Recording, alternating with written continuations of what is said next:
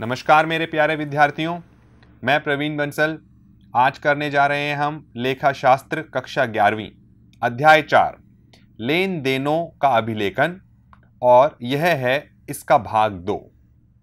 पिछले भाग में हमने जाना कि खाते मुख्यतः पाँच तरह के होते हैं। परिसंपत्तियाँ, व्यय, आय, पूंजी और देयताएँ। परिसंपत्तियाँ और खर्चे। यह दोनों ऐसे खाते हैं जो डेबिट साइड से बढ़ते हैं। डेबिट मतलब नाम से बढ़ते हैं और घटते क्रेडिट से हैं मतलब जमा से घटते हैं। और देताएँ, पूंजी और लाभ। यह ऐसे खाते हैं जो क्रेडिट साइड से बढ़ते हैं और डेबिट से घटते हैं। इन पाँचों खातों को हमने रोज नामचे में लिखने की प्रक्रिया सीखी। जैसे कभी रोकड़ मतलब कैश का आना हुआ तो कैश अकाउंट को डेबिट किया गया, अर्थात रोकड़ नाम किया गया। देखिए, रोकड़ एक परिसंपत्ति है और परिसंपत्ति को बढ़ना नाम से है। एसेट को बढ़ना नाम से है। कैश को बढ़ना नाम से है। इसलिए कैश अकाउंट को डेबिट किया गया। और अगर वह कैश अगर वह रोकड़ राम से प्राप्त हुआ है तो राम क्रेडिट। तो ये पैसे का जो लेन देन हुआ रोज नामचे में लिखने के बाद हमने इसको लेजर में भेजा मतलब बही खाते में प्रविष्टि कराई, और इस प्रक्रिया को हमने कहा खतौनी, पोस्टिंग। अब इसके बाद सवाल यह उठता है कि हर व्यवसाय में पैसों का लेन देन सामान को खरीदना सामान को बेचना शायद रोज ही होता हो और कई बार होता हो। तो क्या हम कुछ ऐसा करने जा रहे हैं कि जब जब पैसा आए या जाए, पहले उसको रोज नामचे में लिखें, उसके बाद उसको खातों में खतौनी करी जाए। शायद एक बड़े व्यापार में या किसी छोटे व्यापार में कहें, कैश का आना जाना कई बार होता है, माल का क्रय विक्रय उससे भी ज़्यादा बार होता है। तो इस अभिलेखन की प्रक्रिया को सरल बनाने के लिए हमने अब एक दूसरा तरीका सीखना है, जिसमें हम अलग अलग किताबें बनाएँगे। जैसे रोकड़ से जुड़ी हुई चीज़ों के लिए एक रोकड़ बही होगी, क्रय से जुड़ी हुई चीज़ों के लिए एक क्रय पुस्तक, सेल से जुड़ी हुई चीज़ों के लिए एक विक्रय पुस्तक इत्यादि। कहने का मतलब ये हुआ कि जब भी हमें कैश से जुड़ी हुई कोई भी प्रविष्टि दिखाई देगी, हम उसे सीधा रोकड़ बही में भेज देंगे। इसी तरह क्रय हुआ तो वह क्रय पुस्तक में चला जाएगा, विक्रय हुआ तो वह विक्रय पुस्तक में चला जाएगा। तो आइए सीखते हैं। सबसे पहली पुस्तक जो हम सीखने जा रहे हैं, वह है रोकड़ बही, जिसको हम कैश बुक भी कहते हैं। इस बही के अंदर हम वह सभी प्रविष्टियाँ करेंगे जिनका आधार कैश है। अगर पैसा आया तो रोकड़ बही में आएगा। अगर पैसा गया तो भी रोकड़ बही में आएगा। और अगर कोई ऐसी प्रविष्टि है, जिसमें ना तो कैश का आना हुआ है, ना जाना हुआ है तो वह प्रविष्टि इस बही के अंदर नहीं लिखी जाएगी। तो चलिए इसको एक उदाहरण के रूप में शुरू करते हैं। वैसे रोकड़ बही दो तरीके की होती है। एक स्तंभीय और दो स्तंभीय। पहले हम एक स्तंभीय रोकड़ बही के बारे में जानेंगे। जैसे कि आप उदाहरण दे सकते हैं कि एक नवंबर 2005 तीस हज़ार रुपये का रोकड़ शेष है।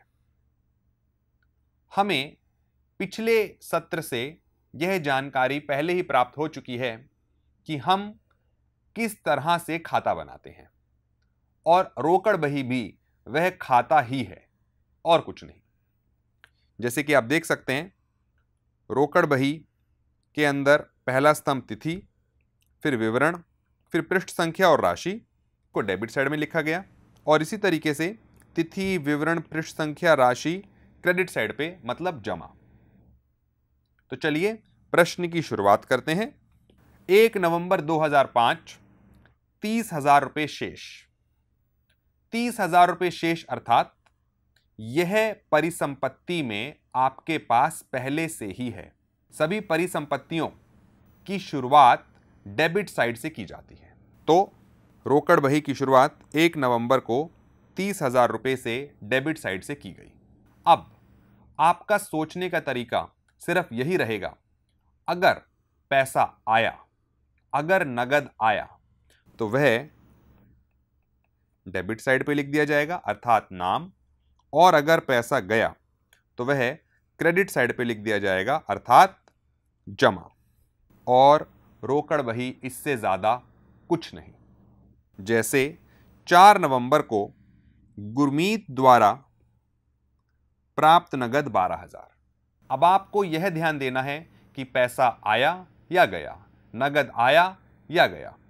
गुरमीत द्वारा प्राप्त किया गया बारह हज़ार रुपया। पैसा आया, नगद आया।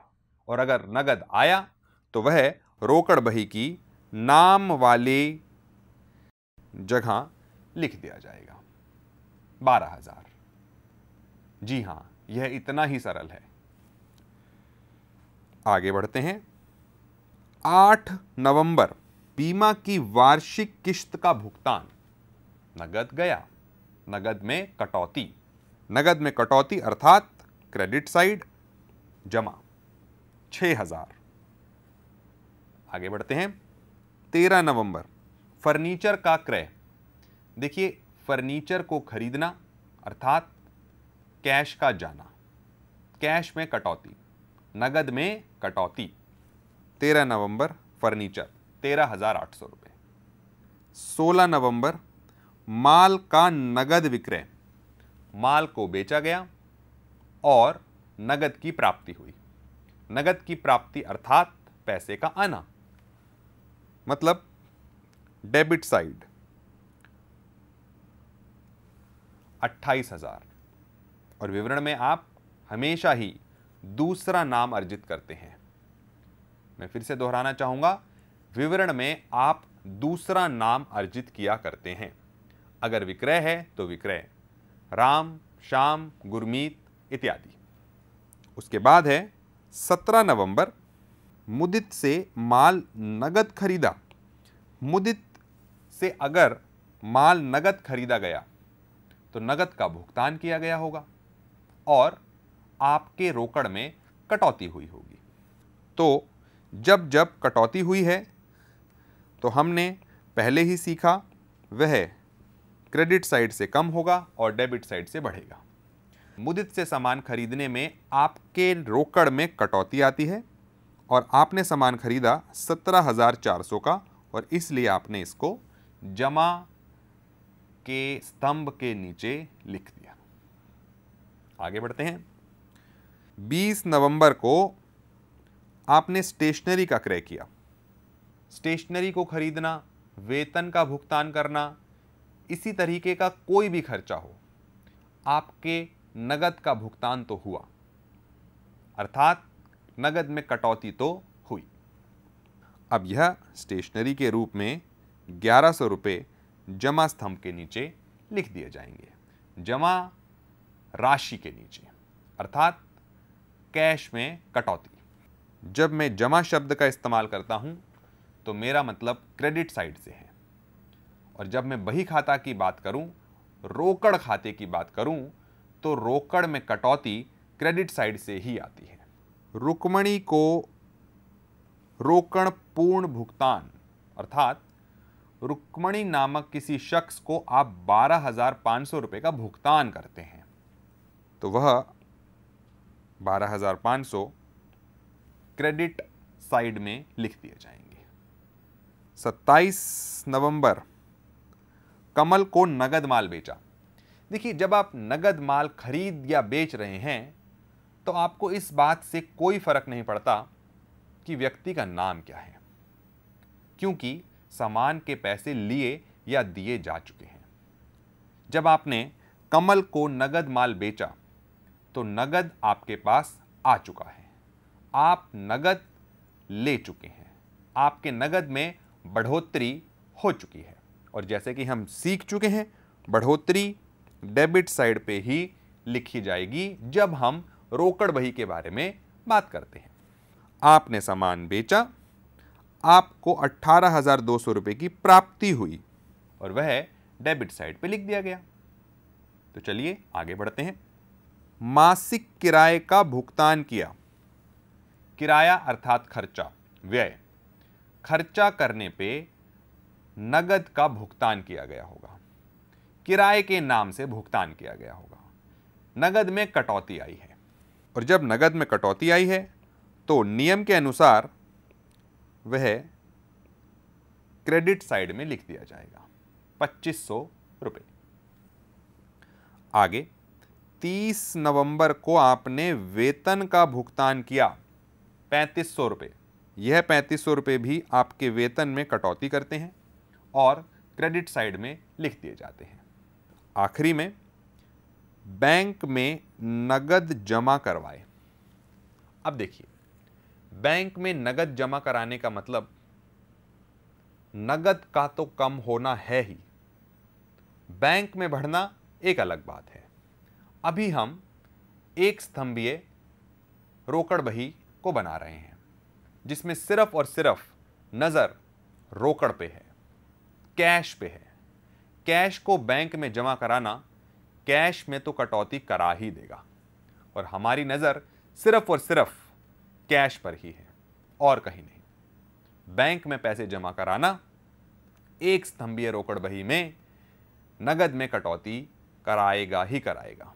और आप यहाँ सिर्फ़ और सिर्फ़ रोकड़ के बारे में सोचिए, बैंक के बारे में नहीं, क्योंकि यह एक स्तंभीय कैश बुक, एक स्तंभीय रोकड़ बही है। जब आपने बैंक में आठ हज़ार रुपये जमा कराए तो आपका भुगतान हुआ और आपने इसको जमा राशि स्तंभ के नीचे लिखा। और इस तरीके से सभी एंट्री रोकड़ बही में प्रस्तुत की जा चुकी हैं। अब आखिर में इस रोकड़ बही को बंद कैसे करना है? आइए सीखें। रोकड़ वही मतलब कैश।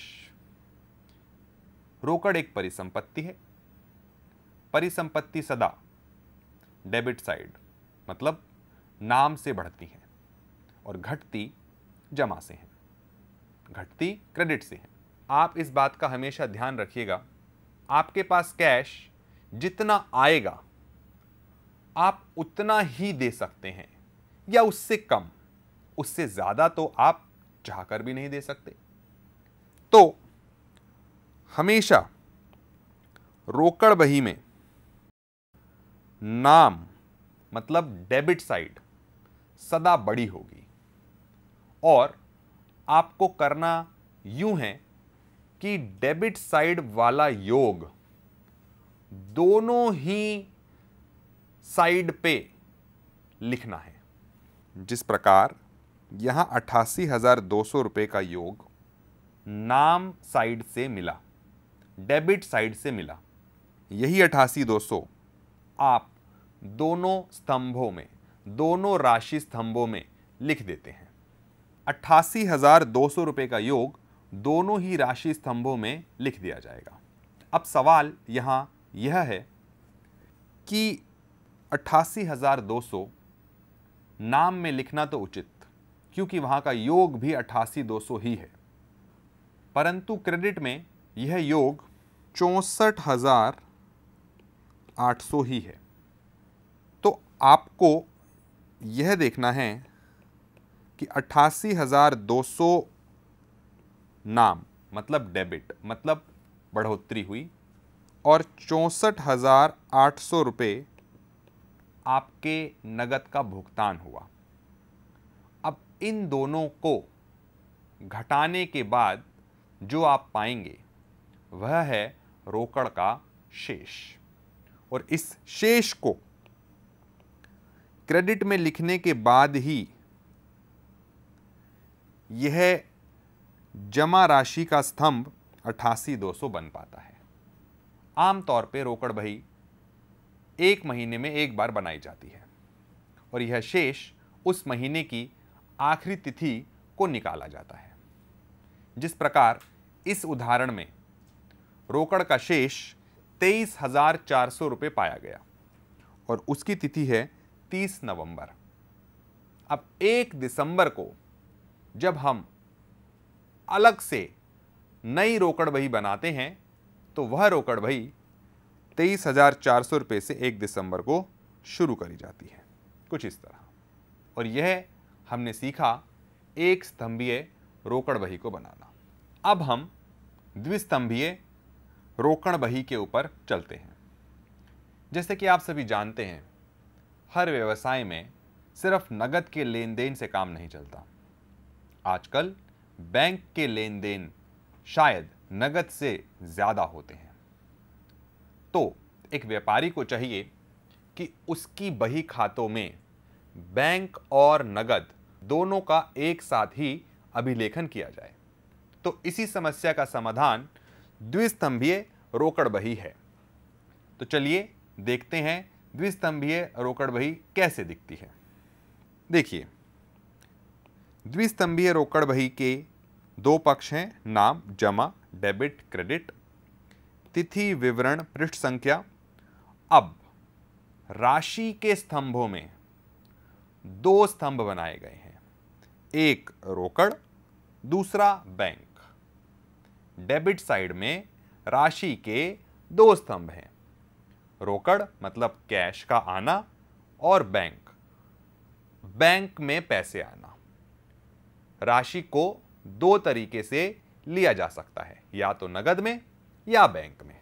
और इसी तरीके से आपकी जमा पक्ष में तिथि विवरण, पृष्ठ संख्या, रोकड़ व बैंक।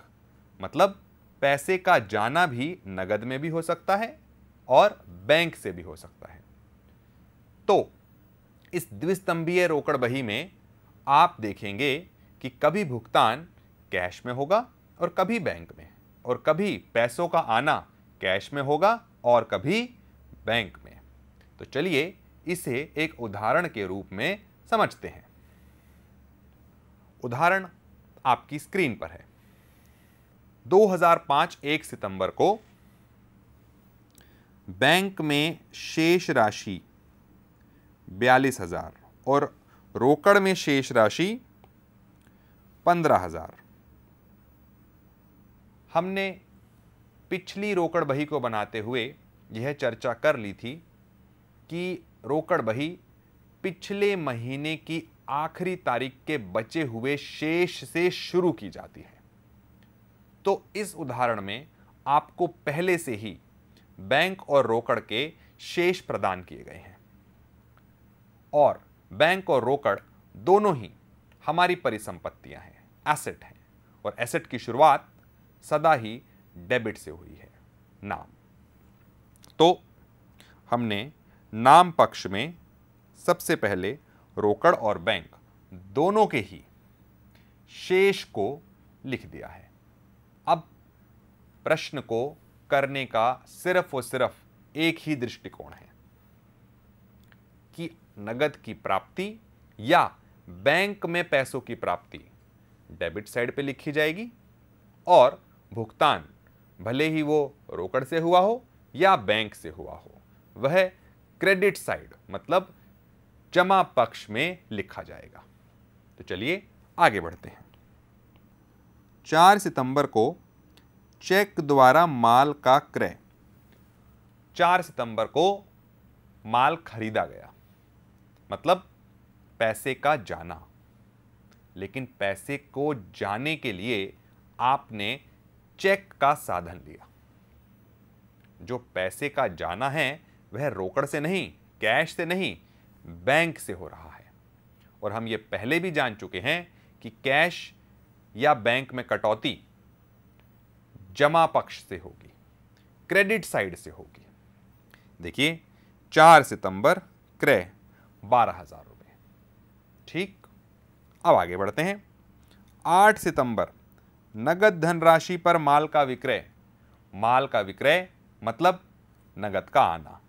चेक नहीं, नगद का आना। मतलब डेबिट साइड। आठ सितंबर, रोकड़ की राशि स्तंभ में लिखना।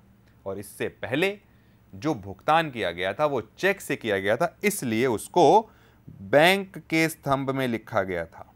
और इस बार यह रोकड़ के स्तंभ में लिखा गया है।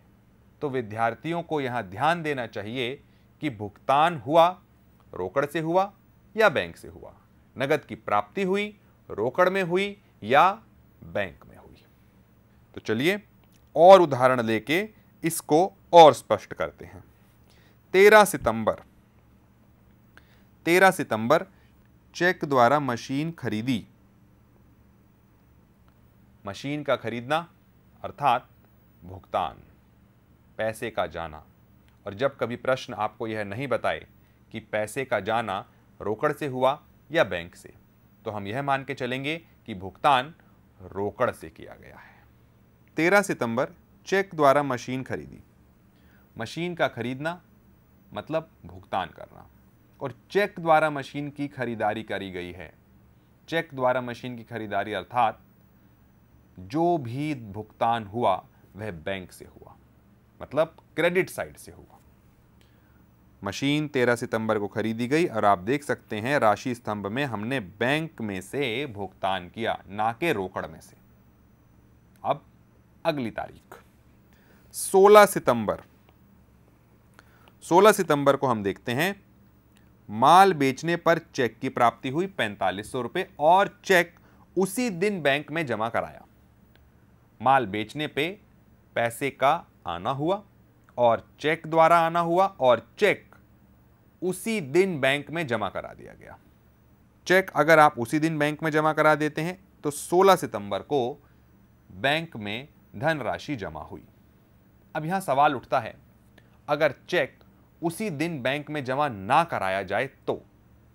देखिए, जब तक चेक बैंक में जमा ना हो जाए, तब तक चेक रोकड़ भी नहीं और बैंक भी नहीं। वह रोज नामचे में लिखा जाएगा, रोकड़ बही में नहीं। अगर इस प्रविष्टि में यहाँ यह नहीं कहा जाता कि चेक को उसी दिन बैंक में जमा कराया गया। तो सबसे पहले आप यह जांचिए कि क्या आगे आने वाली तारीखों में हमने वह चेक जमा कराया। अगर उत्तर है हाँ तो इसका मतलब यह हुआ कि इस दिन, जिस दिन चेक मिला, उस दिन चेक आपने अपने पास रखा। और अगर जवाब यह है कि चेक उसी दिन जमा हो गया है या आगे की किसी प्रविष्टि में इस बात की कोई सूचना नहीं कि चेक जमा हुआ। इसका मतलब चेक उसी दिन जमा हुआ। तो आप उसको सीधा बैंक में लिख सकते हैं। चलिए आगे बढ़ते हैं। 17 सितंबर को नगद पर माल खरीदा। अब यहाँ पे किसी का नाम कोई मायने नहीं रखता। आपने माल खरीदा। जब आपने माल खरीदा तो नगद में भुगतान किया। तो विद्यार्थियों, किसी भी तरीके की रोकड़ बही इसी तरीके से बनाई जाती है। चाहे वो एक स्तंभीय हो या द्विस्तंभीय। पैसे का आना डेबिट साइड पे लिखा जाता है और पैसे का जाना क्रेडिट साइड पे। और इसी तरह आपकी रोकड़ बही समाप्त होती है। आगे की जानकारी के लिए हम अगले सत्र में मिलेंगे। तब तक के लिए धन्यवाद।